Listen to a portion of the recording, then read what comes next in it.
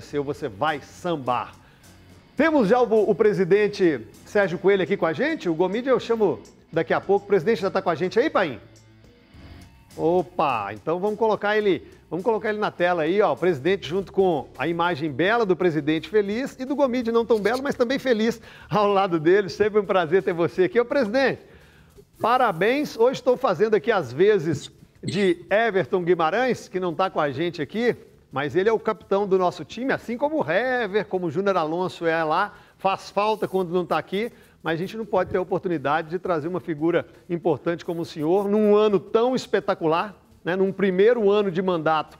Três conquistas, uma ordem na casa. Eu começo já parabenizando pelo seu ano. Falei isso lá na 98, não foi na sua frente e nem preciso falar. Acho que o trabalho que o senhor faz é espetacular, porque o senhor põe o CNPJ na frente do CPF, o senhor pensa numa instituição e, diante de um pecado capital chamado vaidade, que todo ser humano pode ter, mas o senhor não deixa isso exacerbado, não deixa isso aflorado, preocupa-se muito mais com a instituição atlética e ainda falando de quatro R's, de uma estrutura, enaltece o Cuca e nunca coloca a primeira pessoa. Então vai aqui os meus parabéns pelo ano e por ser essa pessoa que o senhor está sendo dentro e fora do Atlético. Primeira pergunta é simples. Depois desses elogios todos, eu já tenho que vir aqui que o senhor vai anunciar, eu tenho certeza, na Band, no Donos da Bola, a renovação do Cuca e de mais um monte de jogador que vai ficar aí. É isso mesmo? Boa tarde, presidente. Boa tarde, boa tarde a todos os telespectadores. É, estou feliz por poder estar participando aqui desse programa. Você falou do nosso capitão, né, Everton.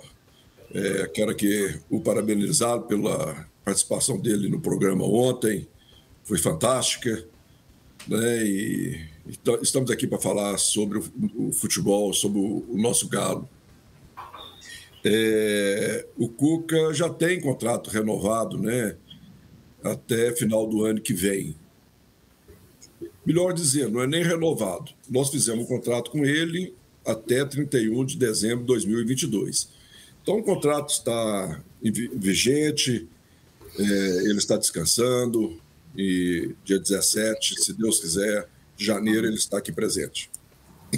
E jogar. Ô, ô, presidente, a, voz. A voz está falhando aí porque comemorou demais, eu sei, gritou muito campeão, então aí é, é normal, pode ficar tranquilo. É, quando eu falo até em renovação, pensando assim, em, a longo prazo, né? Porque se depender do torcedor do Atlético, que já fala que é o maior técnico da história, é o, é o técnico que, que conquistou tudo aqui pelo Atlético. É, se tem alguma, algum, alguma fala de saída, algum interesse de algum mercado, o torcedor fica com medo, porque lembra daquele Mundial de 2013, onde ele até saiu por uma proposta melhor, e não está errado, foi ver os seus interesses pessoais também. Mas já que o senhor falou e garantiu aí o 22, deixa o torcedor mais tranquilo, como é que caiu para o senhor e para todo o staff a declaração do Diego Costa, lá ainda na conquista do brasileiro, falando que não sabe se fica, não sabe se vai, que também tem contrato em vigor, que também tem contrato até dia 31 de dezembro de 22, mas dá uma declaração dessa. Como é que caiu isso para o senhor? É, são situações bem diferentes, né? Ah, o Cook, em momento algum, ele deu uma declaração parecida com essa aí do, do Diego Costa. E a gente também não sabe assim, o, que, o que, que ele pensou no momento, né? O Diego Costa de falar sobre aquilo ali, sobre esse assunto. Mas é, ele falou naquele momento e nunca mais falou no assunto, é, nem publicamente, que eu saiba, e nem com nós gestores do Atlético. Então, eu quero crer que aquilo foi alguma coisa que ele falou assim, é, sem muita relevância, né, em, em, relação a tomar uma posição de sair mesmo, se tem alguma proposta que quer sair, mas é, o importante é que o Diego é um grande jogador, contamos com ele para o ano que vem, ele está de férias e até nesse momento eu posso garantir que não houve nenhuma manifestação dele é, em querer sair do Galo. Perante boa. a. Boa, boa, presidente. Léo Gomide, boa tarde, seja bem-vindo. O presidente está aí, Sérgio Coelho, multicampeão. Pode fazer sua pergunta.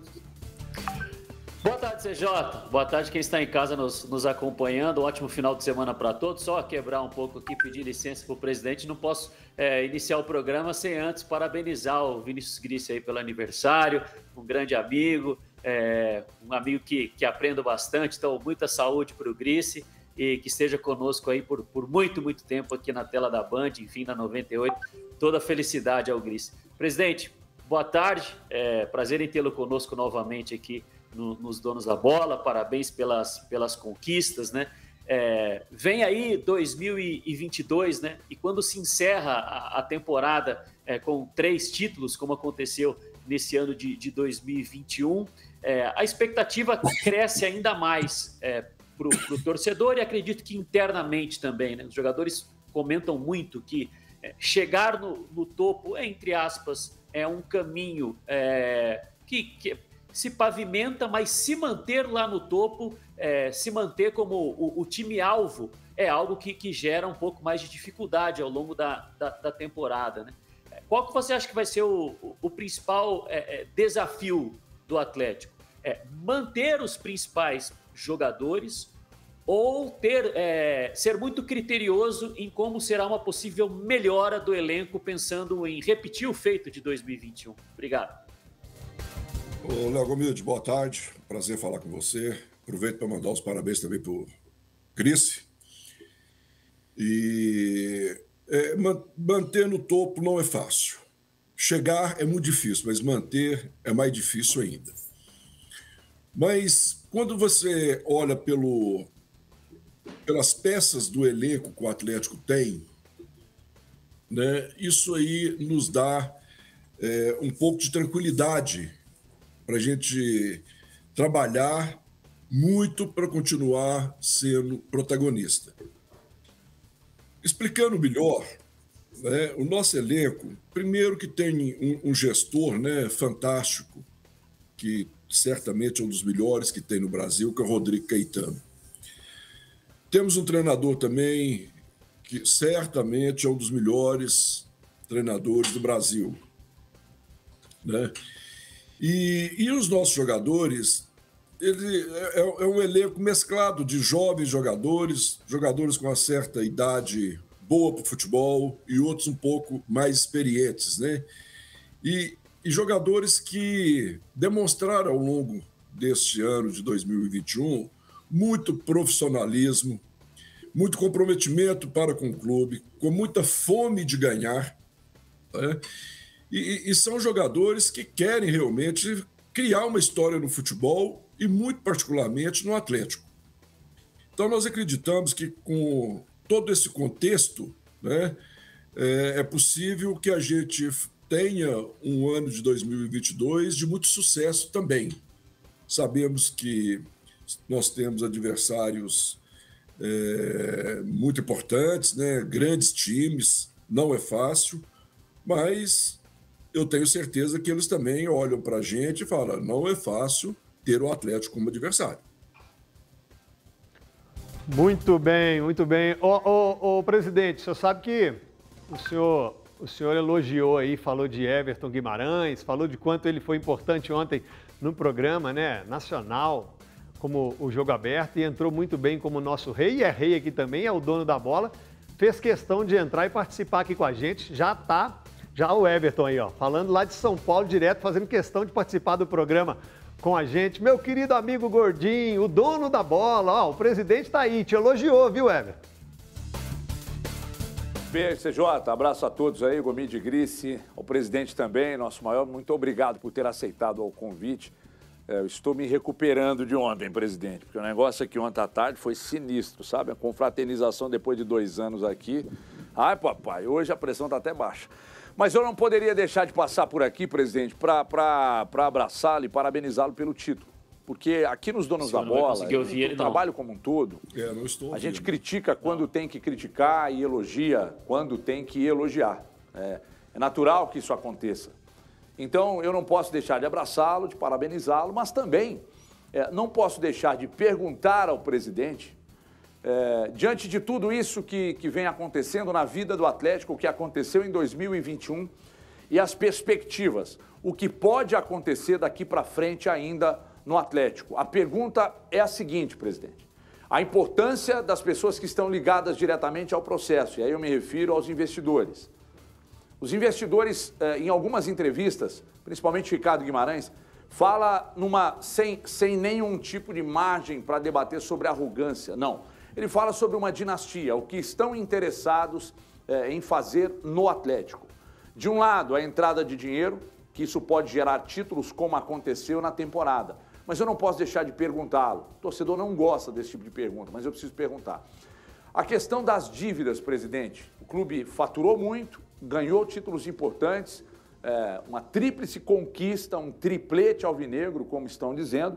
E, e o balanço das dívidas, presidente, ao final da temporada, quando sentarem para discutir, a dívida do Atlético também, que será comemorado como um título por vocês, também vai apresentar números positivos, presidente? É, oh, presidente, acho que o senhor não teve o, o, o, contato com o Everton direto aí. O senhor ouviu? Eu tive. Ah, tive, ótimo. Tive. É, uma, ótimo. uma, parte eu perdi. Uma ah. parte eu perdi. Mas no final eu tive sim. Isso. É, ele, fala, ele, ele, ele parabeniza o senhor, fala sobre perspectivas e também da dívida, que é essa parte final que o senhor ouviu. É, eu, eu agradeço aí os cumprimentos do Everton e tenho certeza que também tem muita admiração por você, Everton, como pessoa e como, um grande jornalista líder. É, o, eu, eu, posso deixar todos os atleticanos né, e a imprensa tranquilos que o final de 2021, questão de balanço, é bem melhor do que o do ano de 1900 de, de 2020. Né? Após um ano, nós demos uma melhorada. O nosso patrimônio líquido ele será bem superior ao do ano passado. E quanto às dívidas, a gente está gerenciando elas. Né? Nós temos projetos para que, ao longo de um determinado tempo, de cinco, seis anos, a gente é, acabe com essas dívidas, principalmente as dívidas onde tem um custo financeiro, né? Que são empréstimos com bancos, dívidas com alguns fornecedores, né? empresários, alguma coisa assim. E a dívida do Profut a gente vai pagar ao longo aí de alguns anos, que é um período maior. Mas não é fácil você ter uma gerência de uma dívida dessa e querer resolver isso em um determinado tempo aí de 12 meses. É, é quase que impossível, né? O que eu posso dizer também é que esse ano de 2021, até, o, até final de novembro, nós pagamos quase 300 mil reais de dívidas do passado, de compromissos do passado, né? Então, e, e paga buscando dinheiro novo, né, numa condição melhor é, de custo, né? E só de FIFA nós pagamos quase 100 milhões de reais, uma dívida perigosíssima. Né? Pagamos o, é, muitas, é, é, muita dívida também de compra de jogadores do ano passado, né?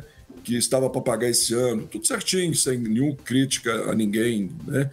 mas nós estamos assumindo todos os compromissos e, e a gente está conseguindo virar o ano e, e, o nosso PL, né, que é o patrimônio líquido, será bem melhor do que o do ano passado. Aniversariante do dia, Vinícius Gris, sua pergunta. Ô, presidente, boa tarde. Parabéns pela temporada, pelas conquistas. Obrigado pelos parabéns. Pede o Rubens para fazer um pix para mim, presidente. Vocês ganharam muito dinheiro de premiação esse ano, ele não vai precisar ajudar tanto ano que vem. Pede ele para fazer um pix para mim, pô. Pois é, acaba que eu ia passar um pix para você, mas já que você pediu para ele passar. pode, só, pode ser também, se for os dois, é melhor ainda, viu, presidente? Não, aí, aí, aí eu, eu, me senti menosprezado. ô, ô, ô, Sérgio, ainda dentro dessa questão até é, financeira, ontem eu estava fazendo um, um, levantamento a respeito da, da temporada de 2021 de, de todos os times da Série A. E se a gente pegar os 20 times, é, é, aqueles 11 jogadores que mais jogaram, que seria aí, na teoria, o time titular de cada um dos 20 times da Série A, o Atlético foi o terceiro que teve a média de idade mais alta, são quase 29 anos de, de média de idade. A gente sabe que é um processo que aconteceu no próprio Flamengo e também no próprio Palmeiras, é, que são hoje os principais concorrentes aí do, do Atlético, que é o de iniciar o projeto contratando jogadores mais consagrados, mais tarimbados, para montar um time forte, para começar é, é, a conquistar e aos poucos ir abrindo espaço para os jogadores mais jovens, que a gente sabe que é uma necessidade, principalmente para os clubes que vivem a, a dificuldade financeira, como é o caso do Atlético. O Rodrigo Caetano esteve com a gente há duas semanas, ou na semana passada, não me lembro exatamente, e já falou da, a respeito da, da, volta no ano que vem do, do, Guilherme Castilho e do Vitor Mendes, que estavam lá no, no Juventudes e que serão reintegrados ao elenco.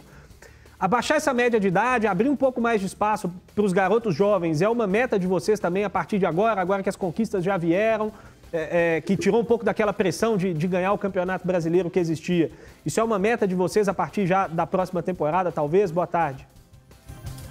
Boa tarde. E é, veja bem, é, estamos com diversos jogadores da base no nosso elenco principal. Né? Nós temos o Michael, é, temos o Neto, é, estão vindo o Vitor Mendes, está vindo também o Guilherme, estamos trazendo o, o Ademir, que é um jogador novo também. É, Savarino é novo, Zarate é novo, Alan também, Arana. Quer dizer, nosso elenco tem muitos jogadores novos. Né? E alguns que é, o próprio Igor Rabelo é um jogador novo, né? Natan Silva. Então, acho que é, nós temos um, um bom equilíbrio em, em idade no, no elenco. E vamos sim dar oportunidade a todos aqueles jogadores da base que merecem estar no elenco principal. Né? Caleb, por exemplo, é um grande né, revelação do Atlético. Nós temos muita fé que ele vai ser um grande é, jogador. Inclusive, falei isso com ele lá em Curitiba, né? E então a gente tem que dar oportunidade, sim, né? Mas é, é, entendendo assim que essa oportunidade, às vezes, nós não podemos chegar e já colocar o jogador para jogar assim imediatamente. No Campeonato Mineiro, vai ser uma boa oportunidade que eles terão para iniciar o Campeonato Mineiro e jogar a primeira a fase classificatória aí. Nós devemos usar muito esses atletas, né? inclusive os que vão estar também na Copa São Paulo de Júnior. Então é isso, né? A gente preocupa muito porque é, a, a, prata da casa ela tem diversas vantagens, mas duas dessas diversas vantagens é que é, o jogador ele tem um amor diferente pelo clube, né? Pela oportunidade que ele recebeu, por às vezes né, por ser é, atleticano e também uma fonte de receita muito importante para todos os clubes, não só para o Atlético, né? Então, esse trabalho é um trabalho que a gente preocupa muito com ele, né? e está, estamos indo muito bem, e acredito que vamos aproveitar muitos jogadores da nossa base daqui para frente. Licença para o senhor, rapidamente, já que o Guimarães. Ô, Everton, aproveita então, já que falamos de Cicred, de coisa boa, a gente vai fazer mais uma pergunta aí para o presidente. Fica à vontade. Vamos lá, CJ, mais uma vez aqui, te dar um abraço. Já dei um abraço no Gris aqui pelo WhatsApp e abraçá-lo também aqui na tela. O Gris é uma figura extraordinária, além de um baita de um profissional. Um cara que eu gosto e respeito demais e ele sabe disso. A gente briga, mas se ama. Então receba todo o meu carinho e receba meu abraço, porque os melhores estão comigo e você seguramente é um deles. Ô, presidente, é, tem uma coisa que não, não dá para tratar com o presidente que é sobrenome de jogadores, isso não justifica ter um diretor de futebol para cuidar disso aí. Mas voltando à pergunta que fiz anteriormente, é, o início, é, quando eu contextualizei antes de perguntar, eu falei sobre é, uma dinastia que seria montada e tal, um time. O Atlético é disparado, esse Atlético é, que você preside, é o principal Atlético da história e não tem conversa, os números provam. Né? Agora, é, o torcedor que viveu um 2021 excepcional, espetacular, ele pode, presidente, o senhor hoje olha para essa câmera aí e diz para o torcedor que o ano de 2022 é um ano que pode ser, e aí eu não estou dizendo para o senhor prometer títulos, mas prometer um time ainda melhor? O senhor ouviu, presidente? O senhor ouviu? O Everton? Não, eu acho que eu e o, o Gomide, nós não ouvimos, não. É o seguinte, ele falou sobre a dinastia, obviamente também sobre os apoiadores, e pergunta o senhor, e até pede o senhor, o senhor confirma um 2022 melhor para o torcedor atleticano? O senhor consegue mensurar um, um, um, um ano muito mais proveitoso e um time ainda melhor, o de 2022, é, comparado a este de 2021? Bom, é, nós vamos trabalhar muito para cada ano o Atlético ser melhor do que o ano anterior. Né? E sou otimista. Eu é, acho, né, com toda convicção, que esse ano de 2022 nós vamos ter condições de fazer um, um trabalho melhor ainda que fizemos em 2021. É, é, é, muito difícil você fazer uma promessa que vai ser melhor, porque tem muitas coisas que não depende de gestão, depende de, pode ter algumas variáveis que te mudam o caminho, né? É, então, é, sou otimista e acho que o 2022 vai ser melhor do que o 21 e o 23 melhor do que 21 e 22, né? E, e quanto a, a ter um time melhor, né? É, eu, no meu entendimento, eu acho que nós temos um elenco fantástico, né? em todos os sentidos, comprometimento, responsabilidade, em, em, esforço de trabalho, dedicação e profissionalismo de uma forma geral. E acredito que esse grupo, né, ele já está é, junto há mais de um ano, né? E por essa razão, 2022 ele pode render ainda muito mais. Né? Então, eu sou otimista também em relação aos bons resultados dentro de campo em 2023. Aliás, 2022, me desculpe. Oh, Antes de até passar para o Léo Gomide, a pergunta é só para pegar uma carona nessa resposta do senhor aí, porque o tempo inteiro o senhor está falando do grupo, do time, é, de, da juventude que esse grupo tem, né, da, da idade, jovens talentos que estão voltando depois de empréstimo e os que já estão aí. Aí o torcedor pensa em uma manutenção ou até mesmo em contratação, quando se fala em um time para 2022. E saída, presidente? Já tem algo, pelo menos oficial, uma procura, uma sondagem? Eu sei que o Atlético recebeu muito dinheiro em premiação, ótimo, mas também precisa vender. Como é que estão as saídas dos atletas, alguns interesses? Já podemos falar para o torcedor assim, com quem se preocupar ou já algo fechado? É, existe um, um interesse é, pelo Alan Franco, por um empréstimo por um período de um ano e essa possibilidade ela existe dele ser emprestado. Né? Ele está tendo pouca oportunidade no Atlético, é um jogador de seleção. É, nós temos sete estrangeiros, né? não é o número ideal para se ter no grupo né, de estrangeiros, que só podem jogar cinco. Então, essa possibilidade ela existe. Não temos nada certo ainda, mas é certo. É, não temos proposta para nenhum outro jogador e estamos abertos, sim, a ouvir propostas. É claro, o clube precisa de vender, não só o Atlético, mas qualquer clube no Brasil.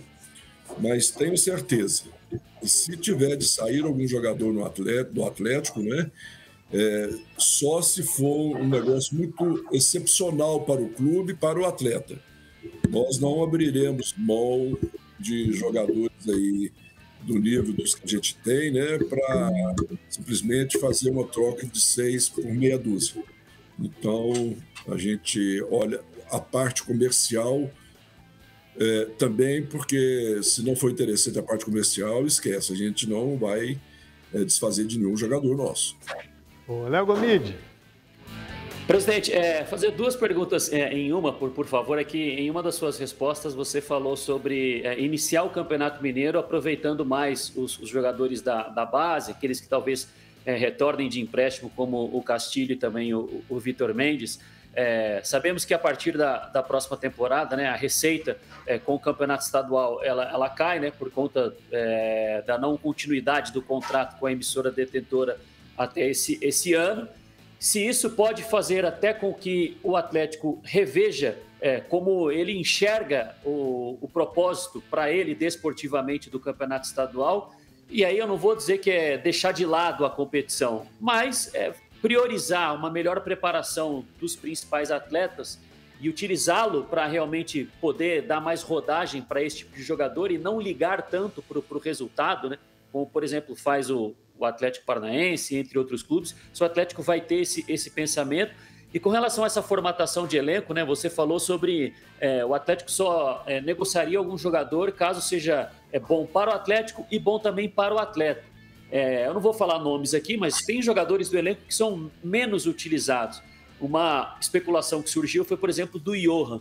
É, se um jogador como o Johan sai do time, o Atlético pretende contratar um novo atleta ou abrir mais espaço para jogadores de oriundos mesmo da, da, da base?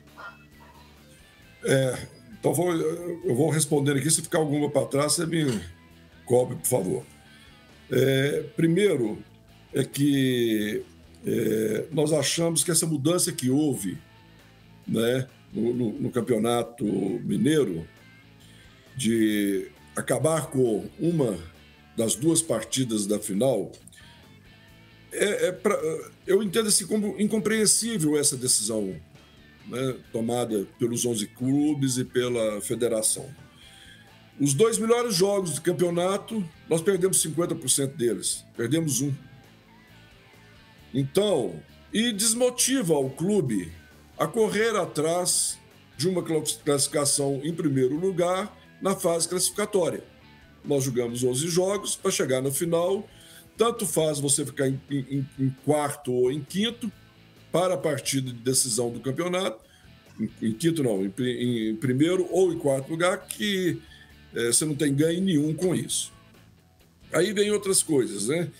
É, eu acho que se tivesse querendo diminuir uma data, que diminuísse uma data na fase classificatória. Em vez de jogar 11 vezes, né, ter 11 datas, tivesse 10. Né? Mas, infelizmente, tomaram essa decisão. O clube perde dinheiro com isso, né? porque é um jogo importante da final, que dá uma renda grande, a torcida gosta de estar no campo, é bacana, e acabaram, infelizmente. Nós vamos voltar de férias dia 17 de janeiro, dia 26, tem um jogo. Devido a essa mudança no Campeonato Mineiro e esse curto prazo para fazer uma pré-temporada, pré nós vamos dar prioridade à pré-temporada. O Cuca e o nosso diretor eles vão é, trabalhar para fazer uma pré-temporada de alto nível. Se precisar de 15 dias, de 21 dias, seja o tanto que for. Esse é o nosso objetivo, porque nós vamos ter um 2021 e um 2022 é, muito apertado, né? Tem Copa do Mundo, tem, nós vamos participar de todos os campeonatos, então nós precisamos do elenco com casco afiado. Então essa é a nossa prioridade. E uma coisa acaba que ajuda a, a, a outra parte, né? Que é a gente dar oportunidade para os nossos atletas que estão no elenco, outros que estão vindo e que precisam dessa oportunidade para mostrar seu trabalho. Né? Então, nós vamos fazer é, é, o, as, os primeiros jogos aí, enquanto o Cook e Rodrigo Caetano acharem, né? Eles vão, nós vamos já o nosso time alternativo e às vezes até mesmo é, o, o time sub-20, porque nós temos o campeonato que é a Copa São Paulo, o último jogo é dia 25. Tomara que a gente esteja disputando o título, mas se perdemos, fomos desclassificados antes, podemos até usar grande parte dos nossos atletas do sub-20 para os jogos, os primeiros jogos do Campeonato Mineiro. Quanto à saída de algum jogador, né, é, se vamos dar oportunidade para os outros nossos, é, sim, né, porque depende também se você tem o jogador para aquela posição, né? Nós temos hoje no elenco, e com, considerando dois que estão voltando, que é o, o Vitor Mendes e o Guilherme Castilho, com esses jogadores voltando, nós devemos ter quase que uns 10 jogadores da base no elenco principal. Então, eles estão no elenco principal, o Cuca trabalha eles diariamente, está vendo tudo que está acontecendo, e, e, o Cuca gosta de trabalhar com jogadores da base, né? tendo oportunidade e eles merecendo, o Cuca vai dar com toda certeza. Ô, presidente, eu sei que nós combinamos com o senhor até uma e meia e a gente vai tentar cumprir, mesmo que já passando um pouquinho, só para passar a palavra para o Everton, que está lá de São Paulo e quer, quer encerrar. Everton. Presidente, mais uma vez, muito obrigado por ter aceitado o nosso convite. Sempre um prazer recebê-lo aqui. É, para a gente fechar, uh, elogia-se muito o, o, trabalho do Cuca na gestão do grupo de jogadores, é, elogia-se muito o trabalho do Rodrigo Caetano, é, que também coordena um, um monte de coisas aí e também é responsável por chegadas e saídas. É, mas o papel do presidente Sérgio Coelho. Como é que o presidente está gerindo o assédio que há com os profissionais do clube? Porque sabes que depois de uma conquista ou de conquistas, como o Atlético teve na temporada, o Cuca, o Cuca né, recebe é, sondagem, Rodrigo Caetano recebe sondagem, jogadores recebem sondagens também. Como que o presidente está lidando com isso? Porque depois do jogo contra o Atlético Paranaense, o Cuca disse: É, eu, eu, eu, me doei muito na temporada, eu fiquei muito focado nisso, eu preciso descansar, ficar ao lado da minha família e tal. Não existe a mínima possibilidade de que esses profissionais deixem uh, o clube, presidente, ou, ou, ou o assédio está grande e está difícil de controlar. O senhor escutou, presidente? Não.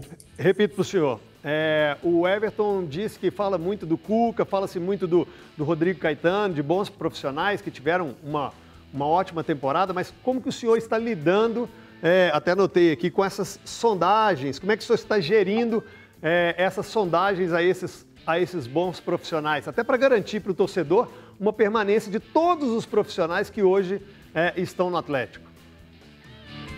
É, tanto o Rodrigo Caetano como o Cuca, né? Os dois têm contrato até 31 de dezembro de 2022.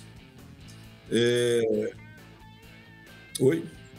Pode falar, pode falar. Tá. Eu, que, eu que interrompi o senhor. Desculpa. Tá. Eles têm contrato até do, final de 2022. Estamos muito tranquilos que eles vão continuar, até porque eles estão gostando de trabalhar no Atlético, né? a gente tem uma sintonia muito grande. Eu sou da, é, daquele tipo de gestor que contrata os profissionais e deixa eles trabalhar da forma que eles sabem trabalhar. Né? Não tem que estar tá tendo interferência nenhuma, porque a partir do momento que você começa a interferir, então para que você contratou ele? Então contratasse outro que você não precisasse. Né? E é claro que a gente troca de ideia a todo momento, tudo aquilo que é preciso, a gente divide a decisão de alguns assuntos juntos. Né? Mas o dia a dia com eles, eu é, estou muito presente na Cidade do Galo, é, duas, três vezes na semana, é vestiário, é viagem, né? Então a gente tem, com isso quer dizer que a gente tem muita oportunidade de estar conversando, falando sobre futebol, é um assunto que a gente gosta, né? Mas sempre respeitando muito o trabalho deles e eles foram contratados e são pagos para isso. E isso acaba é, fazendo com que eles continuem mais tempo no, no, no clube, porque é a forma que eles também gostam de trabalhar, né? tendo autonomia, autoridade e etc. Né? E em relação aos jogadores também, a gente trabalha com planejamento. Né? Nós não temos ninguém para renovar contrato agora de imediato. Para se ter uma ideia, o contrato do Everson ia vencer o ano, final do, do ano que vem. Nós já renovamos para mais quatro anos. Né? Então, é, isso é um trabalho de planejamento, um trabalho que a gente faz é, para que a gente não fique resolvendo as coisas de última hora. E então nós não temos problema com esses profissionais em relação deles saírem, não. Tá certo, presidente. É um ótimo final de ano para o senhor. Feliz Natal. Muito obrigado por ter atendido, ter atendido aqui os donos da bola. Que o 2022 seja tão bom, ou até melhor, para o senhor na vida pessoal e profissional. Muito obrigado, viu? Eu agradeço a todos vocês. Né? e fico muito feliz de poder participar e sempre que convocado estarei a posto. Fique em paz, fique com Deus. Valeu, amém. Fique com Deus também. É, o Esquece, já tá cobrando assim na alta. Ai, falou, prometeu, tem que cumprir. Você, você pediu pro menino, promet, em vez de pedir pro homem. Prometeu o título, ganhou. Mas prometeu meu Pix, tem que pagar também. Bora lá, então.